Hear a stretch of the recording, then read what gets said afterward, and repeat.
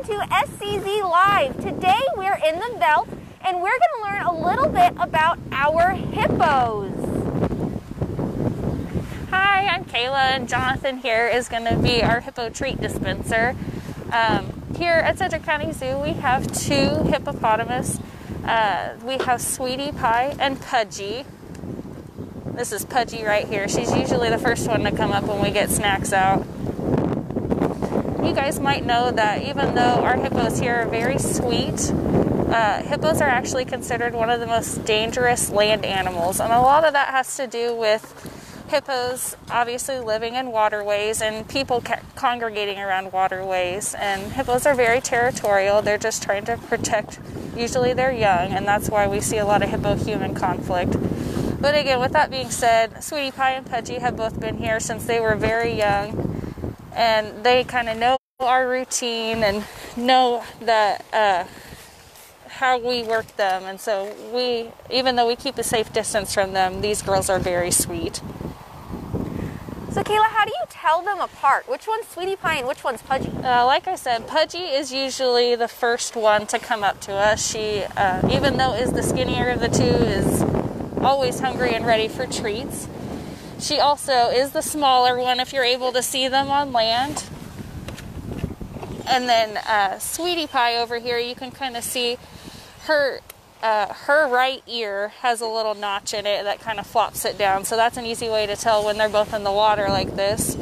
Uh, Pudgy also has a more deeper set eyes and kind of a deeper V on her face, whereas Sweetie's is a lot flatter there. Very cool. Now, what's the native range of these guys?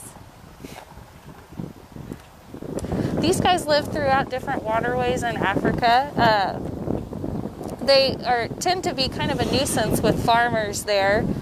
Uh, they obviously a herd of hippos can decimate a crop in just one night, but they actually, as gross as it sounds, their feces is actually very fertile and keeps the the land there really great for crops. Um, and one point that we always like to tell people is this pool here that they're in is was just cleaned about three hours ago and they've done a pretty good job of mucking it up. So a lot of times we get questions of how often do these pools get cleaned? It, several times a day but these girls are very dirty. But that's normal and it's actually really great for their ecosystem. Now we see a lot of ducks swimming around in this uh, in the hippo water. Are the ducks ever scared of the hippos? Uh, apparently not. They know that the girls leave a lot of scraps of hay around. The girls get uh, about a bale of prairie hay divided between them throughout the day, every day, and the ducks are kind of freeloaders and come and eat their snacks. uh, the, this pool here is about 40,000 gallons of water that we fill every day for these guys.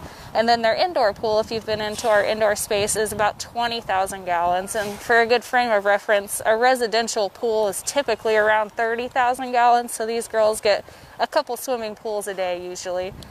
And this time of year, we actually heat the water for them because, again, they are native to Africa, so they uh, enjoy that heated water. And so they have nice hot tubs for them. So we do have a couple questions about the hippo's teeth. They seem a little um, different from what we're used to seeing in uh, most animals' mouths. Is that typical of all hippos? Yes, these guys they do have tusks, and that is that you know can contribute to the ivory trade. But uh, these girls in particular, hippos in general, have these tusks, and that is for protection and for them to fight not only with other species but amongst each other. Um, our girls here are 48 and 47 years old, so they have had a lot of wear and tear on their tusks. Actually, Sweetie Pie here has lost. Um, so those are things that we do a lot of geriatric care for these girls and um, part of that is making sure that their tusks, um, when she's lost these, we flush those out and make sure that they're healthy and that there's no infection. We don't have any concerns about it right now. There's pretty, there's not a lot that's going to stop these girls from eating. They are hungry, hungry hippos. So uh, that plus um, we do know we have a couple cataracts here and a little bit of arthritis. So we do a lot of geriatric care for them. Um, even Pudgy here, we've been able to get actually both Pudgy and Sweetie we've been able to get blood draws and voluntary blood draws, and then our vet department can run those and make sure all their values are good. We also weigh these guys once a month, which is something that we like to do for all animals out here at the zoo. Uh, again, Sweetie Pie is the bigger one here. She weighs about 2,800 pounds, whereas Pudgy's about 2,100 pounds. Wow. Those are big animals. Yes, they are.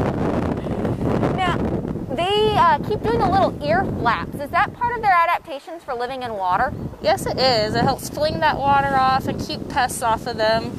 A lot of their, uh, they have also adapted to their environment in that they graze usually at dawn and dusk. They're gonna go above water and eat at those times. It's cooler at those times and also safer. But then the hot part of the day and when there's a lot of traffic and commotion out, they are gonna hang out in the water. Another fun hippo fact is that hippos do not actually swim. These guys, if this pool is slanted here, and you can kind of tell that when they're getting in and out of the water, but hippos actually use the buoyancy in the water and just kind of bounce off the bottom of the water with each step, and they actually cannot swim. So they do not hang out in really deep waters, it's usually shallower places. And we usually get asked how long a hippo can hold their breath, and that is typically between five and ten minutes. Wow, I wish I could hold my No kidding, yeah. All right, I think you guys said that you have some special treats for them We today? do, yeah.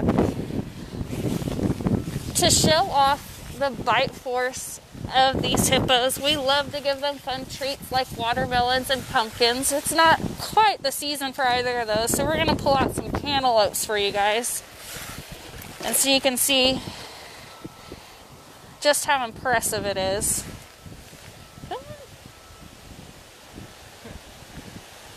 Hi. It, yeah. Let's switch over to Pudgy. Now, and something that was really important just to um, reiterate is that these guys are dangerous animals, right?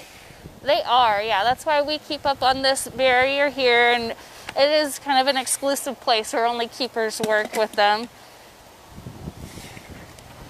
But you can see just how impressive their bite is when she gets her mouth open.